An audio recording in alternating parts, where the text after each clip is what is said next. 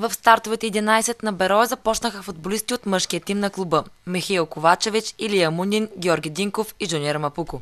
Първото по-интересно положение в срещата бе в 25-та минута пред вратата на Берое. Футболиста на Ботев Пловдив, Мартин Атанасов, излезе сам срещу Михаил Михайлов, но вратарят на Берое успя да спаси. Последваха силни минути за старозагорци и на два пъти удари на Мапуко бяха спасени от вратаря Росен Андонов. Най-чистото положение, което се откри пред Мапуко бе в 42-та минута на двубоя, когато нападателят стреля над напречната града.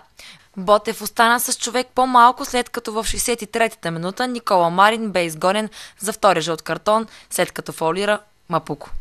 Берое можеше да стигне до победата в матча в 81-та минута, когато след центриране от корнер в наказателното поле на Ботев, Даниел Стефанов стреля опасно с глава, но топката премина в страни от вратата.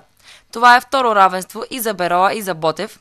Пловдичани завършиха един на един при гостуването на Локомотив София в първия кръг, докато Бероа направи 0-0 във Варна срещу Черно море.